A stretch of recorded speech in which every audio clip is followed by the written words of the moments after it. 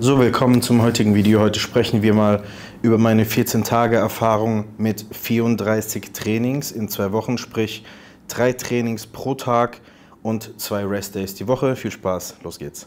Ach komm, eigentlich weißt du, dass Pizza und Süßigkeiten dich nicht geiler machen. Die Frage ist also nicht was, sondern wie. Wie komme ich also ins Ziel? Wenn ich gesund essen soll, hart trainieren soll, mich noch um die Kinder, die Familie kümmern soll und auch noch Vollzeit arbeiten gehen muss. Als einer der besten Bodybuilder auf der Welt kann ich dir ziemlich gut dabei helfen. Du willst endlich abnehmen, schnell Muskeln aufbauen oder dich einfach mal gerne im Spiegel angucken? Dann hör auf weiter Zeit zu verschwenden und bewirb dich hier. Wir finden was Schickes für dich. Jetzt Attacke. Bis gleich. Ja, wie schon erwähnt, ich war dreimal täglich im Gym, drei Sessions am Tag. Das war strukturiert morgens Cardio, Workout Nummer 1 und Workout Nummer 2. Zeitlich gesehen war das so, ich bin zwischen 7 und 8 Uhr aufgewacht, dann habe ich eine Stunde gewartet, bis die Fatburner wirken. Dann war ich im Gym, habe eine halbe, dreiviertel Stunde Stairmaster gemacht. Wahlweise, sehr selten, war ich laufen auf dem Laufband mit leichter Schräge. Ich würde aber sagen, zu 90 Prozent war das der Stairmaster. Dann ging es zurück ins Apartment nach dem Stretching und dem Vakuum. Da gab es dann Frühstück und eine Stunde nach dem Frühstück direkt das erste Workout. Dann ging es zurück, Mahlzeiten dazwischen, gehe ich gleich ein bisschen näher drauf ein. Und dann ging es in Session Nummer 3, also ins zweite Krafttraining gegen Nachmittag und anschließend dazu hatte ich dann meistens noch etwas Bewegung in Form von Personal Trainings oder einem Spaziergang, den ich aber nicht explizit zu der Routine dazu gezählt habe. Also ähm, wir werden gleich mal vergleichen, ich habe alles aufgeschrieben, wie viele Schritte ich gemacht habe, wie viel Prozent wir in der Woche in Intensität nach oben gegangen sind, in Schritten, wie sich mein Schlafverhalten hat und so weiter und so fort. Sehr detailliert aufgeschlüsselt, sodass ihr sehen könnt, was genau, wann und wieso passiert ist in diesen zwei Wochen. Ich habe mir dazu natürlich vorbildlicherweise ein Exercise Book, ein Trainingslog zugefügt ähm, und mir jedes einzelne Training aufgeschrieben, jeden Satz, wie viel Gewicht ich bewegt habe, wie viele Wiederholungen ich geschafft habe. Anschließend ein eine Zusammenfassung der Woche von Montag bis Sonntag in Kalorien, wie viel ich verbrannt habe, wie viel Schritte ich an den Tagen gemacht habe und wie viel ich geschlafen habe und im Anschluss dadurch natürlich den Durchschnitt. Wir gehen jetzt alles mal gemeinsam Schritt für Schritt durch. Kommen wir zum Trainingsplan und damit beginnen wir auch schon. Und den habe ich in fünf Trainingstage geteilt, wie schon gesagt. Fünf Tage Training, zwei Tage Pause. Der erste Tag beginnt mit Schultern und Waden. Hier haben wir acht Sätze für die Schultern, drei Sätze Seitheben, zwei Sätze Schulterpresse und drei Sätze Reverse Fly. Anschließend dazu zwei Sätze Seated Calf Raises und zwei Sätze Standing Calf Raises. Vorweg, es sind relativ wenig Arbeitssätze und es hat folgenden Grund. Ich habe versucht, Chunk Volume, also diese 5 Millionen Warm-Up-Sets, ähm, diese Findungssätze, diese nicht an Muskelversagen Sätze einfach komplett zu streichen und nur die Sätze zu performen, die ich wirklich ans Limit mache. Natürlich hatte ich bei einer Schulterpresse zuvor mal einen Warm-up-Satz, um reinzufinden, um mich ans Gewicht ranzutasten. Bei Kniebeugen waren es vielleicht sogar zwei, bei Kreuzheben auch. Ähm, aber ich habe nur die Arbeitssätze gezählt und versucht, Junk Volume, also dieses unnötige ähm, Satzgedöns, einfach rauszulassen und mich auf das Wesentliche zu fokussieren, was sehr, sehr, sehr gut geklappt hat. Natürlich hat das ein bisschen Zeit gebraucht und ein bisschen Gewohnheit, bis es alles soweit war, aber an und für sich hat es wirklich hervorragend funktioniert. Die Session Nummer zwei war dann zweimal sitzend Beinbeugen, dreimal Stiff Leg Deadlifts, zweimal Lying Leg Curls und zweimal Hyper Ass Tension oder Hyper Extension.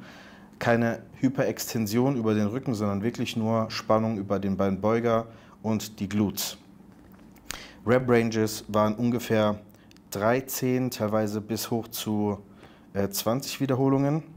Ich habe hier bei den Seeded Leg Raises teilweise sogar 18.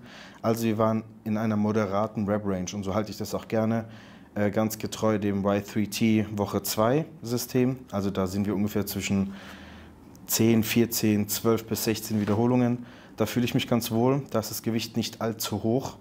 Ihr dürft nicht vergessen, ich bin in der Wettkampfvorbereitung jetzt zu diesem Zeitpunkt zehn bis neun Wochen zu Olympia. Wenn man sehr, sehr viel Gewicht benutzt, mag das zwar einen sehr effizienten Trainingsreiz geben, aber auch eine sehr hohe Belastung auf Gelenke und auf Muskulatur, die durch ein Kaloriendefizit natürlich angreifbarer sind, als wenn man jetzt in der Offseason mit reichlich Nährstoffen getankt ist und Mineralstoffen. Das ist einfach nicht so. Zudem haben wir in diesen 34 Sessions sehr, sehr viel Stress auf den Körper ausgeübt. Ähm, und ich bin in jedem Aspekt ans Maximum gegangen. Ähm, ich hätte vielleicht noch das eine oder andere Cardio dazu packen können, aber ich glaube, das wäre einfach too much gewesen. Das Resultat des Ganzen, Pro und Contra, seht ihr dann im Folge des Videos. Aber jetzt lass uns erstmal weiter über das Training sprechen. Das zweite Training war dann Brust und Trizeps. Zwei Übungen, zwei Sätze Cable Flies, dreimal Incline, zweimal Brustpresse. Dann gab es für den Trizeps zwei Overhead und zweimal Rope Pulldowns. Auch hier moderate Rep Range. Die Flies waren etwas höher mit 20 Wiederholungen und die Incline etwas niedriger mit teilweise sogar nur 9,5 Wiederholungen. Das war dann halt Failure, gefolgt von der nächsten Einheit Quads. Zwei Sätze Beinstrecker, drei Sätze Hack Squat, zwei Sätze Leg Press, zwei Sätze Lunges und drei Sätze Adduktoren. Bei Quads versuche ich wirklich sehr, sehr, sehr viel zu machen, im Gegensatz zum Beispiel zu Armen. Da hatte ich vier Sätze, ähm, zweimal Rope und zweimal Overhead. Der Trizeps ist durch das Brusttraining schon ein bisschen angegriffen, also muss ich da nur die Kirsche auf die Sahne setzen, wohingegen bei den Quads, da lasse ich es brennen. Also wir sind hier bei 5, 7, 9 mit den Adduktoren bei 12 Sätzen und das Ganze machen wir, wie gesagt, doppelt die Woche. Also habe ich in der Woche 24 hocheffektive Arbeitssätze, was in meiner Welt schon knackig ist. Ihr werdet hier gleich mal ein Bild eingeblendet sehen, um die Philosophie etwas besser zu beschreiben. Ich bin der Auffassung, dass ein Muskel nicht länger als drei, vier Tage braucht, um zu regenerieren. Vorausgesetzt, die Regeneration ist gegeben, sprich Schlaf, die Nährstoffe sind zur Verfügung, ähm, man kümmert sich ein bisschen um seine Mobilität, Flexibilität, Massagen. Es sollte einfach alles in einem guten Umfeld von Wachstum stattfinden. Nährstoffe, das Essen muss halt richtig sein, das Stresslevel darf nicht so hoch sein. Jetzt aktuell befinde ich mich in einer extrem, extrem stressfreien Phase. Ich habe versucht, möglichst alles auszublenden, was nicht olympiagerecht ist. Dementsprechend hatte ich relativ viel Zeit neben meiner Haupttätigkeit als Coach, ähm, die ich natürlich online machen kann und am Handy und am Cardio und am ganzen Tag ähm, habe ich nur noch Personal Trainings, was auch im Fitnessstudio ist und ich mit einkalkuliert habe als Need, also Non-Exercise, Thermogenesis und so weiter, um meine Schritte hochzuhalten, um die Kalorien über den Daumen zu peilen, war ja auch alles getrackt. Bis auf das habe ich nichts anderes getan in diesen zwei Wochen. Ähm, gehen jetzt aber weiter ins, äh, in die weiteren Trainings. Dann kommen wieder die Schultern und die Waden, ähnliches Training wie zuvor. Und dann Rücken und Bizeps. Zwei Sätze Pullovers, drei Sätze T-Bar-Rudern, zwei Sätze Close Grip Pulldowns, zweimal Scott Curl und zweimal Spider Curl. Auch hier habe ich einen massiven Fokus auf meinen Rücken bzw. auf den Beinbeuger. Deswegen kommt beim Beinbeuger-Training auch relativ viel Volumen zusammen, genauso wie hier beim, beim Rücken.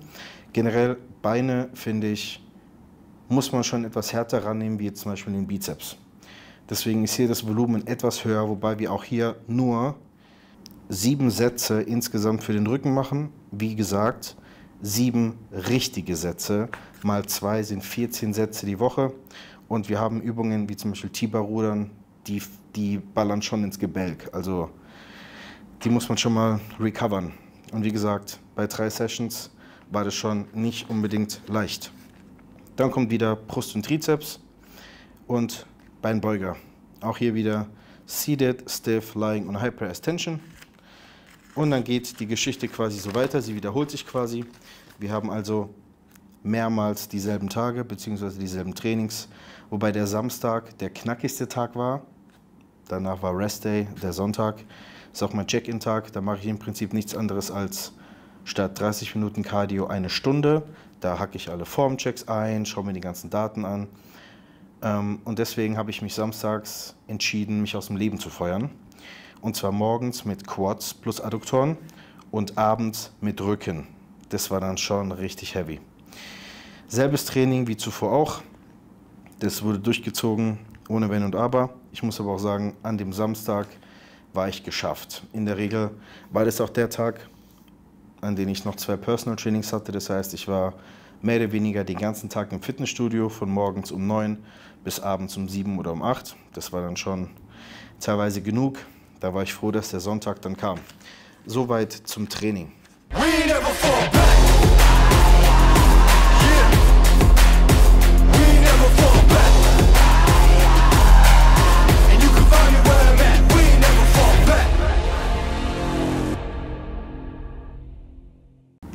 Kommen wir jetzt mal zu meiner Ernährung. Wie ihr wisst, ich bin jetzt wenige Wochen zu Olympia. Das heißt, wir haben die Kohlenhydrate und die Gesamtenergiebilanz schon etwas nach unten gesenkt. Aktuell befinde ich mich bei zweieinhalbtausend Kalorien. Ich spick ab und zu hier mal auf mein Handy, dass ich nichts vergesse. 244 Gramm Kohlenhydrate, 273 Gramm Protein.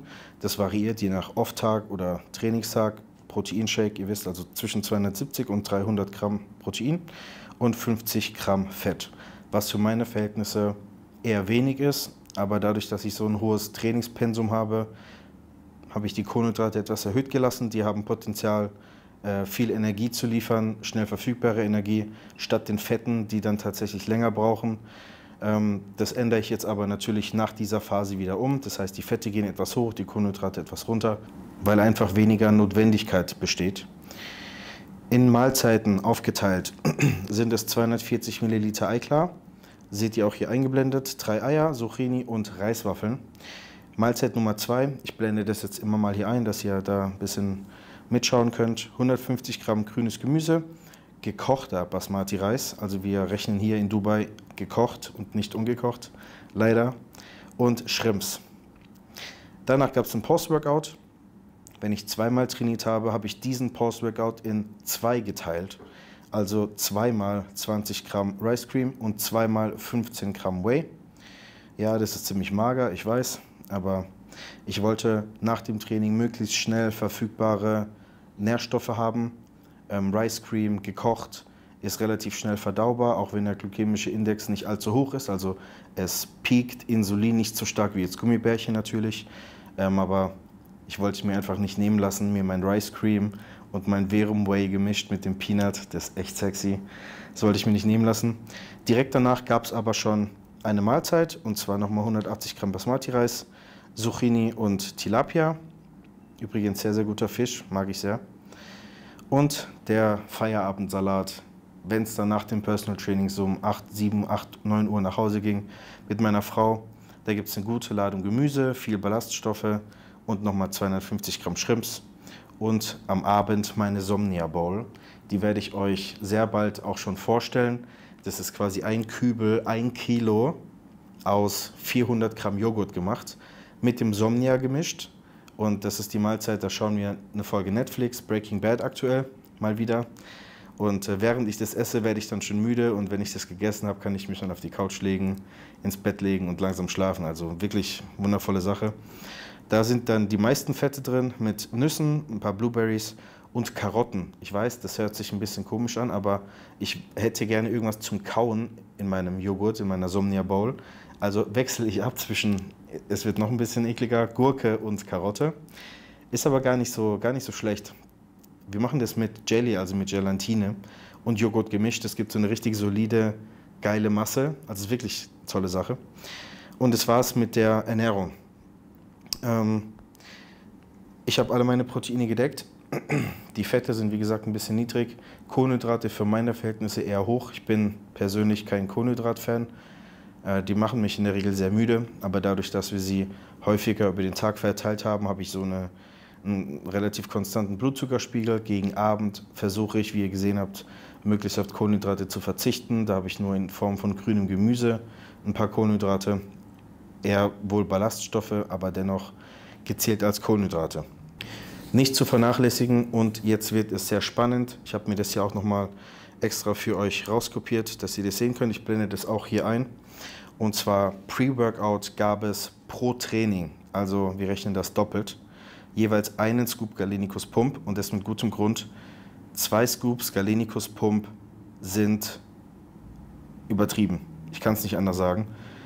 Der Pump ist einfach so stark, dass ich nach der zweiten Übung kaum mehr Muskelgefühl habe und es im Training einfach unerträglich wird, weil der Muskel so, so fest drückt.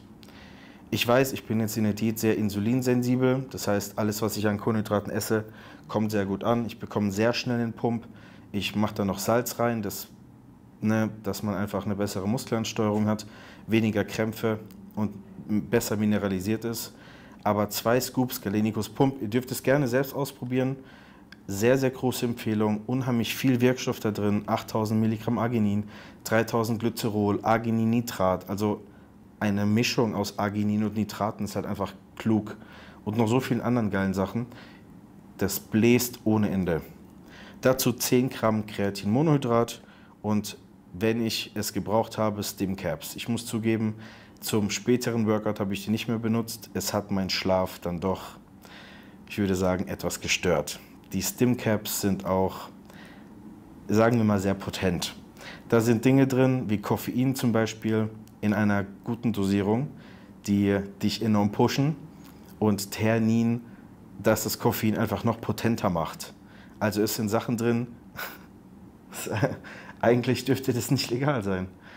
Es sind Dinge drin, die dich sehr anheizen und zugleich Dinge, die das Limit deines Körpers quasi nach unten setzen, sodass die Sachen einfach noch potenter wirken. Das ist total verrückt. Also die Zusammensetzung ist noch im Rahmen des Legalen, aber sehr klug und smart gelöst. Morgens vorm Cardio, das ist meine ganz normale Routine, habe ich 500 bis 1000 Milliliter Wasser und Lemon Juice, also Zitronensaft aus einer Zitrone gepresst, 10 Gramm Glutamin Plus, für die Verdauung unheimlich wichtig. Akazienfasern sind da drin. Gibt es übrigens auch Studien mittlerweile zu Akazienfasern, die sagen, dass man 80% weniger Blähungen hat, 75% weniger Magen-Darm-Beschwerden in general, also im Allgemeinen. Schaut euch die Inhaltsstoffe an. Garnicus hat auf der Webseite selbst auch alle Studien verlinkt. Wenn es euch interessiert, wenn ihr so ein kleiner Hobby-Nerd seid wie ich, ihr könnt da alles nachlesen. Es ist alles sehr, sehr ausführlich beschrieben und drei Stimcaps. Also morgens zum Cardio Stimcaps und vor dem ersten Workout, vor dem zweiten nicht mehr.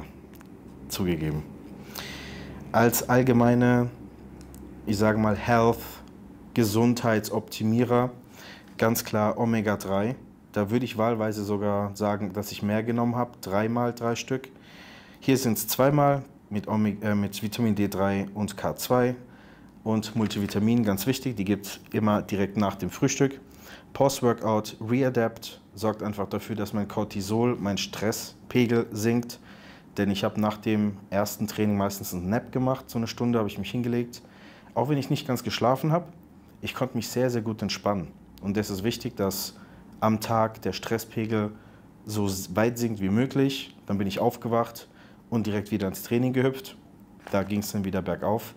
Ähm, aber Readapt ist ein unheimlich gutes Supplement, gerade mit dem Ashwagandha, mit den ganzen Adaptogenen, also stresslindernden ähm, Nahrungsergänzungsmitteln da drin.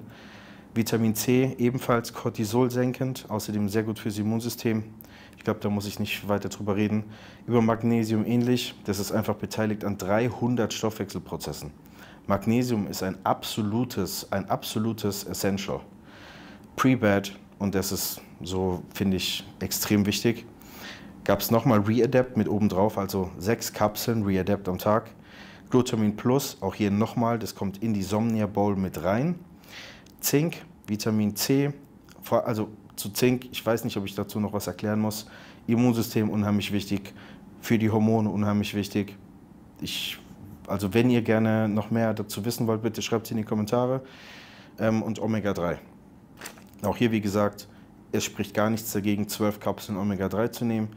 Im Prinzip ist wichtig, wie viel EPA und DHA über den Tag nehmt und da sollten 3000 Milligramm reiner Wirkstoff, ich rede nicht von 3000 Milligramm Öl, also drei Kapseln, sondern 3000 Milligramm Wirkstoff im System sein. Und dazu braucht man je nach Firma, Garnicus ist relativ hoch dosiert, zwischen 6 und 12 Kapseln. Äh, hier sind jetzt sechs aufgeschrieben. Ich tendiere eher zu neun, sogar zu mehr. Omega-3, Hormonbereitstellung, Immunsystem, ähm, antientzündliche Prozesse. Mit Omega-3 steht und fällt ganz viel. Das dürft ihr nicht vergessen.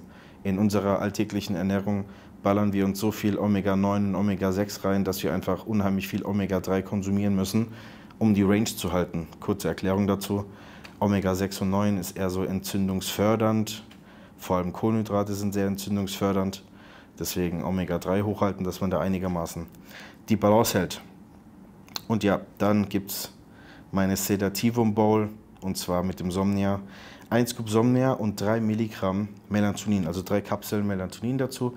Mittlerweile bin ich sogar bei 5, ganz einfach, weil Melatonin eins der besten Antioxidantien ist.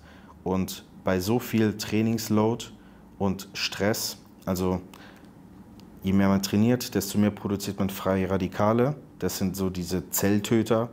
Und dazu braucht man Antioxidantien, die dagegen kämpfen.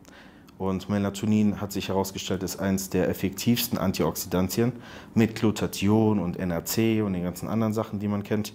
Ähm, ist Melatonin da schon sehr groß beteiligt. Und es fördert tatsächlich, da kennen es die meisten, den Schlaf. Nachts wache ich immer mindestens ein, zwei oder dreimal sogar auf, um pinkeln zu gehen. Und ich habe immer noch so einen halben Scoop Somnia in meinem Shaker neben dem Bett stehen und den ziehe ich mir dann so rein und dann bleibe ich da schön sedatiert und schlafe relativ gut und bin erholt. Wo wir jetzt auch zum nächsten ähm, Thema kommen, und zwar Recovery, zum Thema Schlaf. Ich habe mir hier meinen Schlaf aufgeschrieben und der Durchschnitt war tatsächlich 8 Stunden und 40 Minuten, was sehr, sehr gut ist.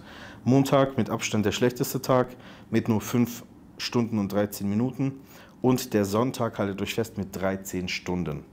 Sonntag ist der Tag, da schlafe ich, solange ich kann. Wenn ich morgen um 10 aufwache, dann drehe ich mich nochmal um. Ich äh, robb mich an meine Frau, ein bisschen, bisschen süß jetzt, aber ich robb mich dann an meine Frau, mache vielleicht eine Serie an und dann, so wie man sonntags morgens einfach mal liegen bleibt, so sind wir liegen geblieben. Und wenn wir dann 11, 12, 13 Stunden im Bett waren, tipptopp, ich habe mich danach wie neu geboren gefühlt, denn danach ist die neue Woche gestartet. Ein weiterer sehr wichtiger Punkt Thema Recovery waren meine Massagen. Ich arbeite hier mit einem der besten Physiotherapeuten zusammen, der heißt Arnes in der Physiotherapie. Ähm, also so heißt auch die Praxis Physio.